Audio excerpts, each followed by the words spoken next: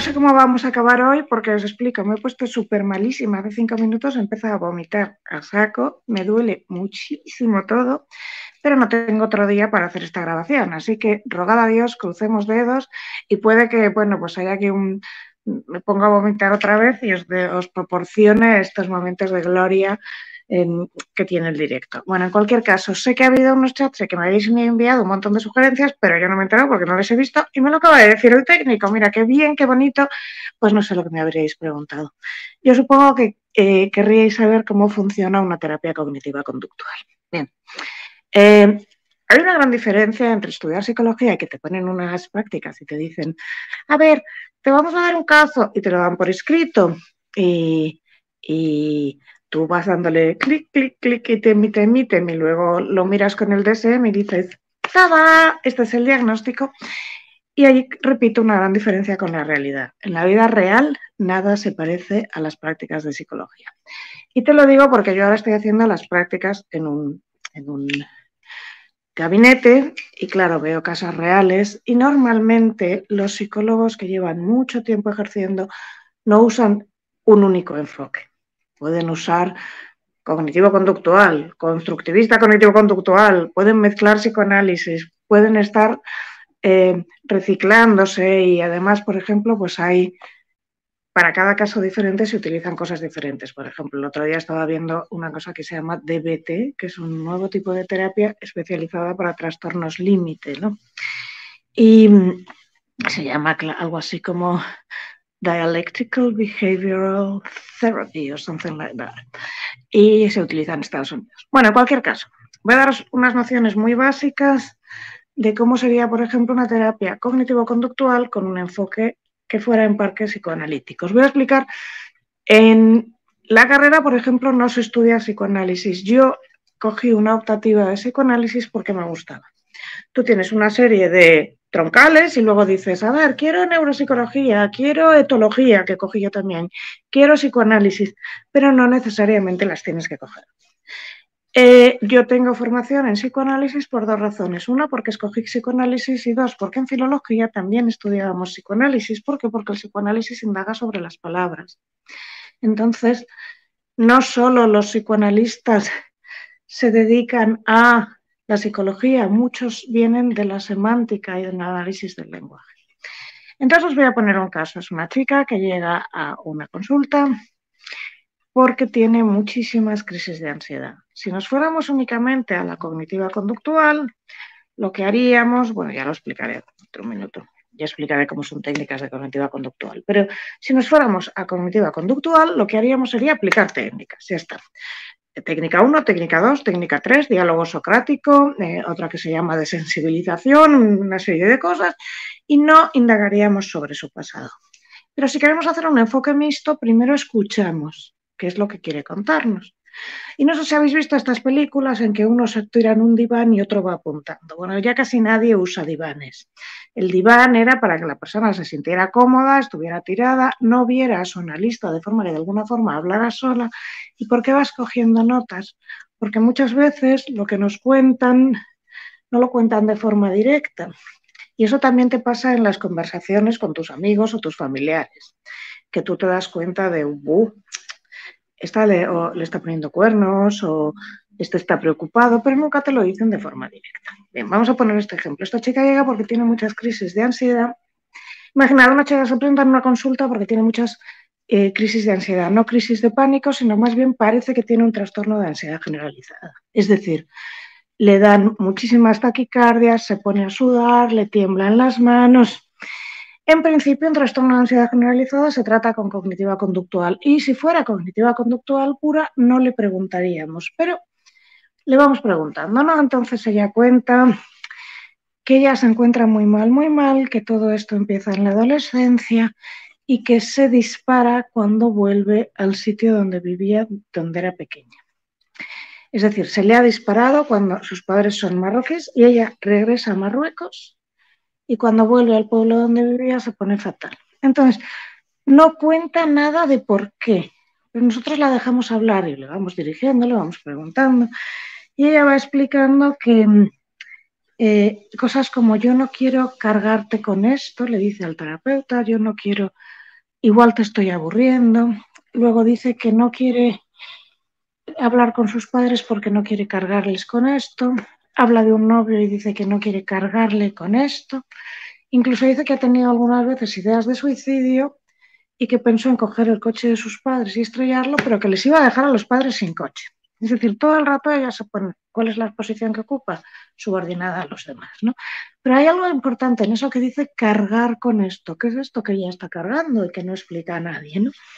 Luego empieza a hablar de que tiene muchos problemas con las relaciones sexuales porque hace dos o tres años fue a una fiesta y no quiere contar exactamente lo que pasó, pero más o menos cuenta que entró en un cuarto con un chico en la fiesta y que acabó pasando algo que ella no quería que pasara. Pero dice una frase, no llegó a más porque entraron y nos interrumpieron. No dice le interrumpieron. Bueno, según se va contando, lo que parece es que hay algo muy fuerte que ya no puede contar, que ya no puede contar a sus padres, que ya no puede cargarle a nadie más. Y es curioso porque ella cuenta lo de la fiesta pero no parece que la fiesta sea para tanto. Entonces hay una cosa muy importante. Muchas veces cuando te están contando una cosa, se refieren a otra. No solo te hablo de gente que vaya a una, terapia, sino también cuando un amigo te está contando algo, te refiere, se refiere a otra. Por ejemplo, si una amiga, su novio le pone cuernos y ella no se atreve a contártelo, es muy posible que acabe contándote, yo tengo una amiga, bueno, esto es muy típico, ¿no? Es decir, si a mí mi novia me pone los cuernos y yo no quiero que tú lo sepas, pues estoy muy preocupada, te diré que tengo una amiga a la que le ponen los cuernos. Esto es un clásico, que te cuenten la historia en función de otro. Ella está contando una historia que parece que no es para tanto, pero si vas uniendo puntos y piensas, esto que carga, esto que no, con lo que no puedo cargarla a nadie, esto que no puede contarse a sus padres, el hecho de que se le disparen las crisis cuando vuelve a su pueblo, determinados huecos en el lenguaje hace sospechar que el abuso que nos cuenta en la fiesta se refiere en realidad a algo de su familia. esto solo es una sospecha y esto tiraría más para adelante. Si fuéramos exclusivamente psicoanalíticos, podríamos decir, oh, está creando lo que tiene, más que un síndrome, eh, que un trastorno de ansiedad generalizada, es un síndrome de estrés postraumático. Muchas veces se confunden. Es decir, un síndrome de estrés postraumático son una serie de manifestaciones de ansiedad que ocurren a partir de un hecho traumático. ¿Cuál es la diferencia entre el trastorno de ansiedad generalizada y el síndrome de estrés postraumático? Pues que el segundo, el síndrome de estrés postraumático, se desencadena después de un trauma y que además hay ciertos triggers, gatillos, detonantes, que hacen que aparezca la manifestación eh, de, de ansiedad. Por ejemplo, son gente que tiene casi siempre muchas pesadillas, temas recurrentes, para poner un ejemplo muy claro, alguien que no puede subir a un ascensor o en sitios cerrados, no siempre es porque se quedó encerrada en un ascensor de pequeña. Muchas veces la gente tiene miedo a los sitios cerrados porque ha sido agredida en un sitio a quien no podía salir. Entonces cualquier sitio cerrado le dispara esto. Bueno, podríamos tener dos enfoques. Uno es seguir averiguando a ver qué le pasó de pequeña y a partir de ahí actuar, pero esto es muy largo y el segundo sería un enfoque mixto, que es de momento vamos a centrarnos en sus manifestaciones de ansiedad y luego ya o a la vez podemos ir indagando en lo que le pasó muy despacio. Pero normalmente se entiende que con el enfoque puramente psicoanalítico se puede tardar mucho, aunque es útil, ¿vale? Bien, ¿cómo se va a una terapia cognitiva conductual? Pues normalmente diríamos, a ver, ¿dónde suceden las manifestaciones de ansiedad? Pues en esta chica es cuando vuelve a su pueblo, y luego le pedimos primero que apunte cuando le sucede, es decir, cuando te dan los temblores de manos o las taquicardias. Y normalmente es en temas relacionados cuando vuelve a su pueblo, con la familia o eh, en entornos en los que tiene que ir a reuniones familiares, lo cual hace sospechar también que ahí está pasando algo, pero ya veremos cuándo pasa. El caso es, tenemos un detonante y tenemos unas, eh, es decir, eh, manifestaciones, ¿no? Entonces, vamos a ver, ¿qué piensas cuando llegas al pueblo? Pues cuando llego al pueblo pienso, joder, lo voy a pasar fatal, me va a pasar esto, demás. Es el pueblo el que detona, no solo el pueblo, tampoco le gustaba ir ni a las reuniones de familiares, ni a nada que tuviera que ver con estar con mucha gente. Bien. Eh, una de las técnicas de lo que se llama desensibilización es exponer a, esta, a la persona a lo que le causa la ansiedad e ir bajando. Una de las técnicas, por ejemplo, consiste en imaginar un intensómetro, ¿no? De 0 a 10. Bien, pongamos el ejemplo de que es alguien que tiene pánico a los pájaros, ¿no? Bueno, pues primero, lo primero que yo le diría es, mira, simplemente piensa en pájaros, vamos a hablar de pájaros, imagina pájaros. Vale, ¿cómo te sientes de ansiosa cuando imaginas pájaros? Pues en un 3, vale, muy bien. Em, si yo te pongo una película de pájaros, los pájaros de Hitchcock, ¿cuánto subiría? Un 7. Y si te llevo a un zoo, ¿cuánto subiría? Un 10. Vale. Pues lo que le pedimos, mediante unas relajaciones, por ejemplo, le hacemos ver eh, escenas de pájaros y vamos relajándole con, em, ¿cómo se llama esto? Con relajación guiada, que es esto que habréis visto en un montón de cosas de YouTube, que es lo de ahora cierra los ojos, empieza a respirar, ahora piensa que te pesa mucho, pues las sienes, luego el cuello, luego los hombros y van eligiendo partes de tu cuerpo hasta que te relajan por completo. Bueno, pues imagínate, si yo tengo miedo a los pájaros, pues me ponen una sesión de los pájaros, unas, unas ¿cómo se dice? Eh, frames, unos, ¿cómo se dice en español? Imágenes de pájaros, vamos, un corto de pájaros, un, un extracto de los pájaros de Hitchcock. Luego se me hace una relajación guiada y luego se me vuelve a poner lo de los pájaros. Y bajamos el intensómetro de, digamos, 7 a 3. Más o menos en varias sesiones que puedo hacer una exposición guiada al estímulo, es decir, primero te hago pensar en pájaros, luego te enseño pájaros, luego me acompañas y te llevo a un sitio donde hay un pajarito, luego, y poco a poco yo te voy sensibilizando al estímulo, pero explicándote cómo relajarte imaginando un intensómetro en la cabeza en el cual tú puedes hacer bajar, ¿no? Si esta chica tiene muchísimo miedo de ir a su pueblo natal, nosotros podríamos entrenarle en eh, eh, imágenes del pueblo natal, imágenes de las fotos, etcétera, etcétera, etcétera. Pero en este caso, en el que se sospecha que ella tiene pánico de ir allí porque ha pasado algo, quizá la cognitiva conductual no funcionaría también. No sé si lo he explicado. Entonces, cognitiva conductual, voy a poner otro caso.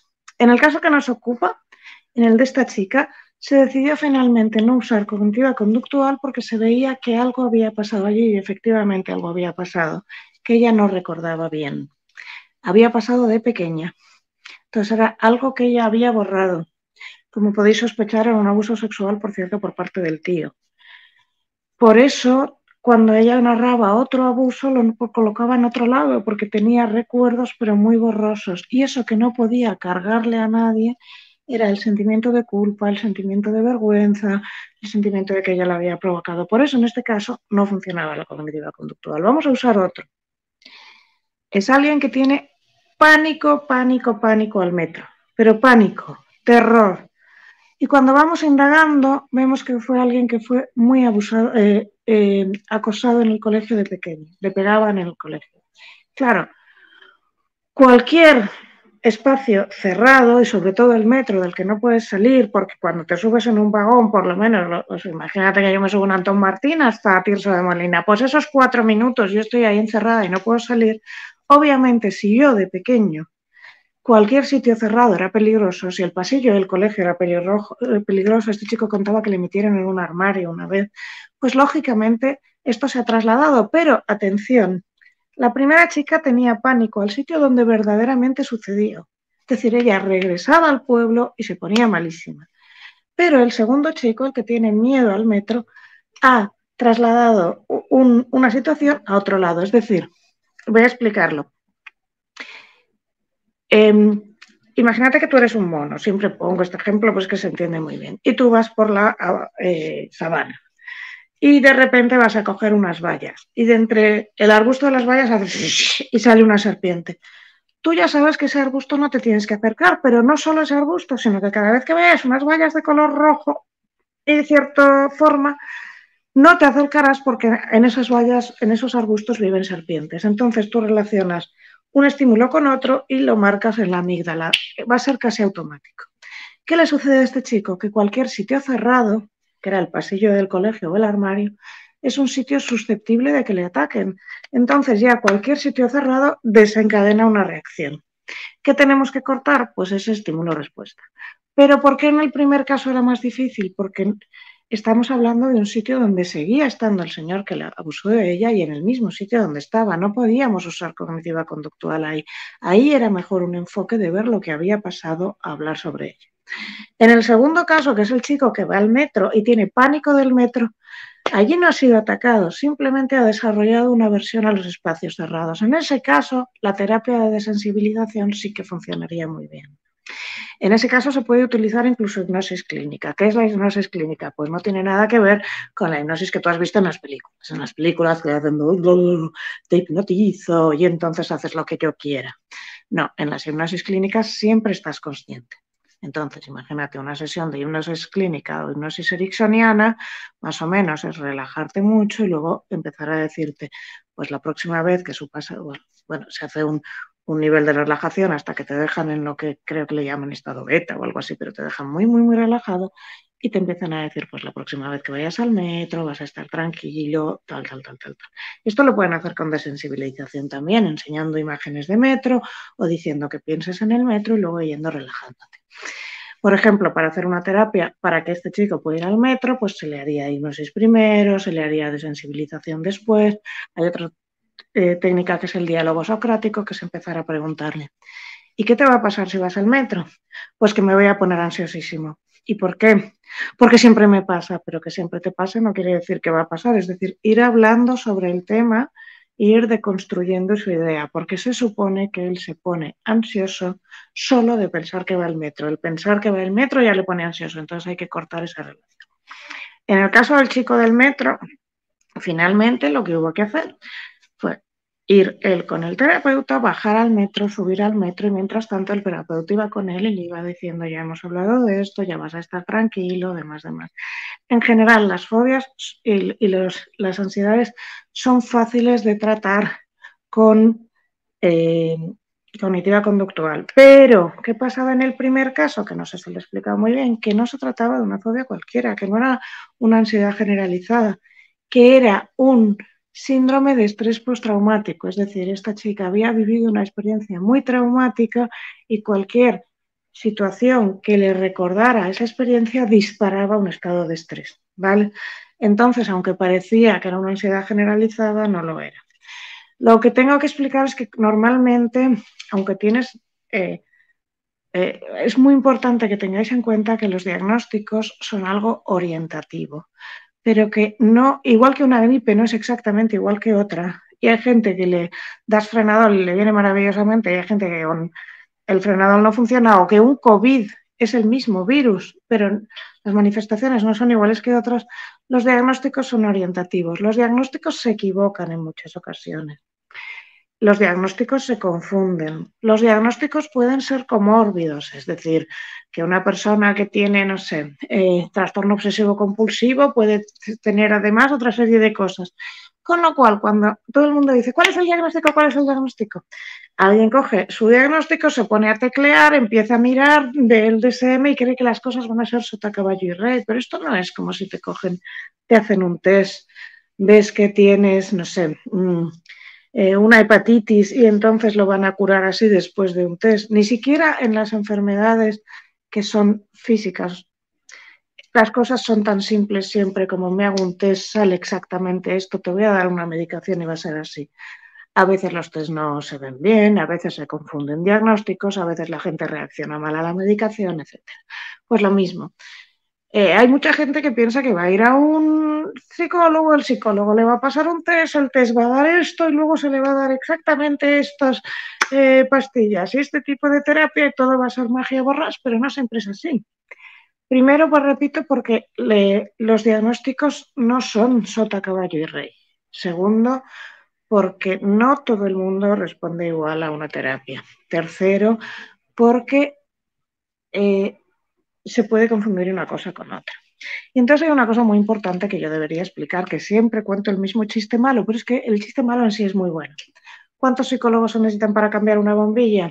Uno si la bombilla quiere cambiar. si, si alguna persona acude a un sitio y esta persona no está completamente decidida a cambiar, no cambia. Hay muchas resistencias de muchísimos tipos. Por eso, cuando la gente viene diciendo, ay, es que yo estoy saliendo, estoy mirando cuántos minutos llevamos, pero no lo veo por ninguna parte, llevamos 20. Vale. Cuando la gente llega con esto de, es que mi marido sufre de mm, lo que fuera, pero yo quiero que cambie para que sigamos juntos, ejemplo típico mujer que se ha casado con un señor que tiene un trastorno obsesivo compulsivo que va evolucionando hasta que llega un momento que no se puede ni vivir con él. Es la mujer la que le manda a un psicólogo porque le dice o te vas a un psicólogo, nosotros cortamos porque yo no lo soporto más. Muy probablemente ese señor no funcione en terapia. ¿Por qué? Porque no lo ha decidido él. De la misma manera que, por ejemplo, cuando la gente va a, a la hipnosis ericksoniana precisamente para dejar de fumar, que funciona muy bien, funcionan los que van porque quieren. Hay gente que va a la hipnosis ericksoniana porque su familia, su novio, su prima, quien fuera, le ha dicho que si no deja de fumar ya no le vuelve a ver. Esta persona no va a funcionar. Hay millones de resistencias que impiden que los procesos de terapia o de, la terapia que sea, cognitiva, conductual, psicoanalítica, constructivista, me da igual, no funcionan porque las personas que llegan con resistencia eh, no funciona. Voy a poner otro ejemplo.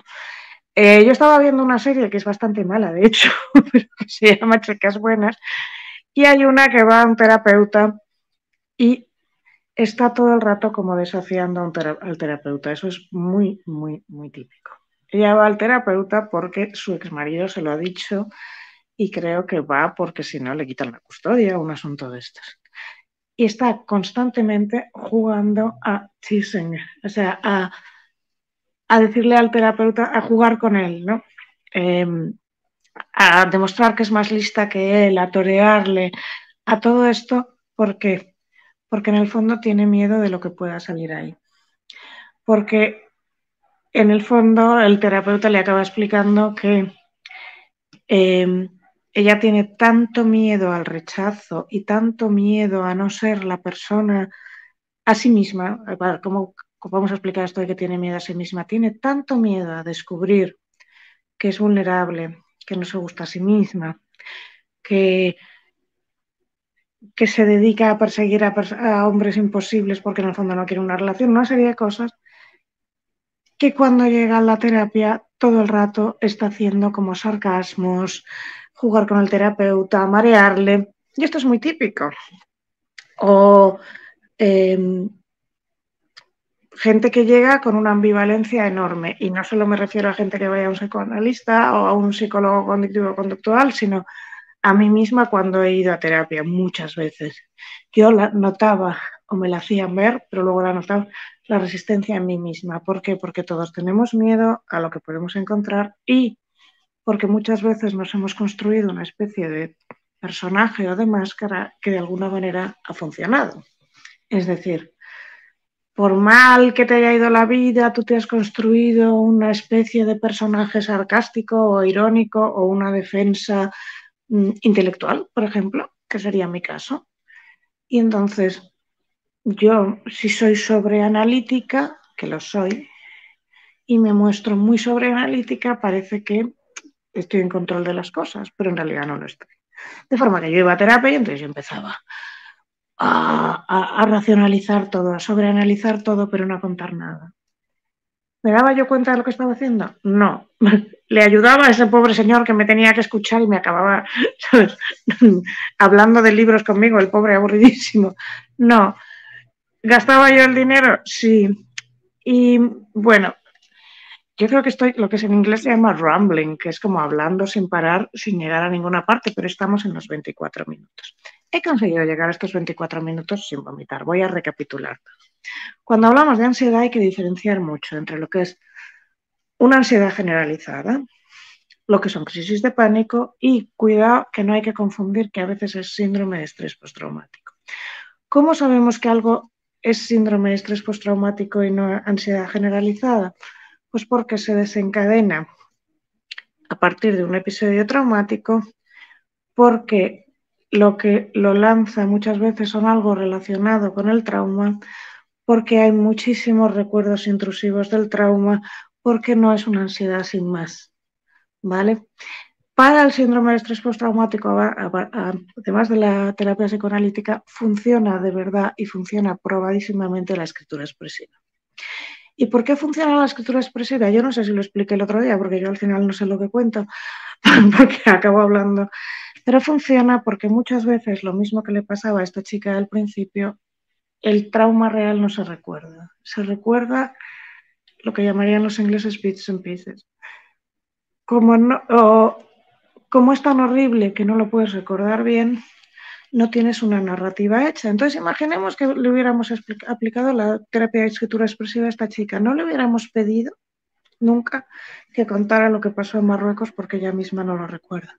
Quizá le hubiéramos pedido que contara lo que pasó en esa fiesta y que lo escribiera. ¿Por qué? Porque esa fiesta en el fondo es una recreación del trauma original, aunque ella no se da cuenta.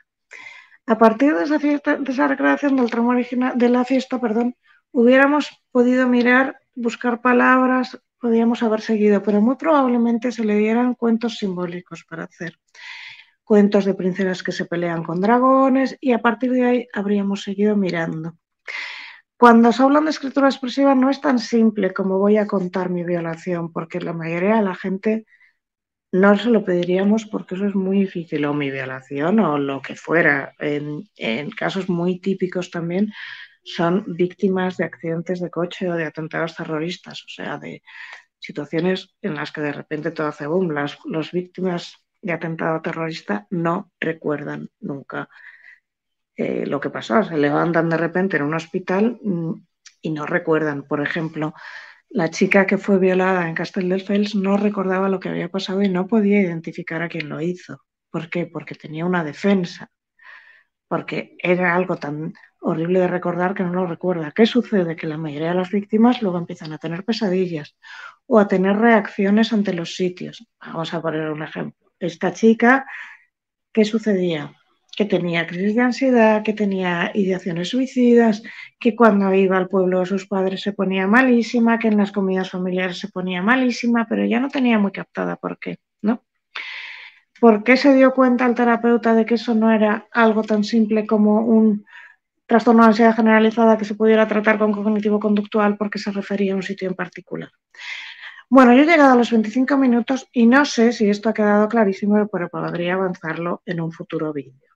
Eh, no sé si ha quedado muy claro cuál es la diferencia entre una ansiedad generalizada y una fobia y un síndrome de estrés postraumático. Sé que lo voy a explicar. La fobia es específica. Por ejemplo, tengo fobia a los pájaros, o tengo fobia al metro, o tengo fobia al color verde. ¿vale? La ansiedad generalizada son manifestaciones ansiosas que te dan a menudo, respondo normalmente a algo, no sé, a hablar en público o a llegar a situaciones sociales, pero no hay un detonante muy claro. El síndrome de estrés postraumático tiene siempre recuerdos intrusivos en sueños o, o también en vigilia a veces y se dispara con detonantes que recuerdan al acontecimiento traumático. ¿vale?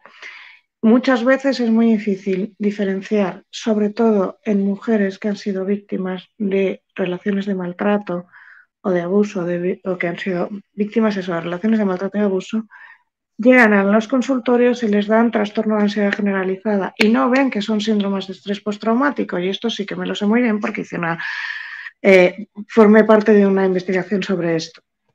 ¿Y por qué no los buscan? Pues porque el síndrome, los test del síndrome de estrés postraumático, que el que usamos en España es de un señor que se llama Echeburúa, no se hicieron en principio, no se pensaron para víctimas de maltrato.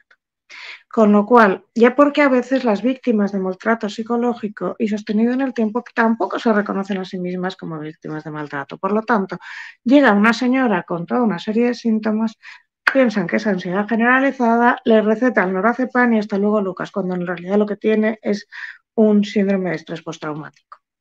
¿Por qué? Porque todo sucede a partir de que ha vivido esa relación, por ejemplo, ¿no? Y antes no lo tenía. Entonces me preguntaréis, ¿y el chico del metro cómo es que no era síndrome de estrés postraumático? No, porque en su caso no era que constantemente recordaba lo que estaba pasando o que tenía sueños, era simplemente el metro o los sitios cerrados, porque había establecido una relación entre los sitios cerrados y el tener que defenderse. Y creo que con esto he llegado exactamente a los 30 minutos sin vomitar, 30 minutos con, 10, con 20 segundos. Pues eh, no leía vuestros comentarios, me ha dicho el técnico, que se llama Xavi, por cierto, que hay un montón, los miraré luego e intentaré que la próxima vez esto esté un poco más estructurado. Pero bueno, que tengáis en cuenta que todo esto lo he hecho con una vela que se estaba quemando aquí y con un dolor en el estómago que tengo brutal mm, y que no doy más de mí. Y que a partir de hoy sí que voy a leer comentarios, así que dejadlo y nada, pues hasta el próximo vídeo. Un beso, hasta luego.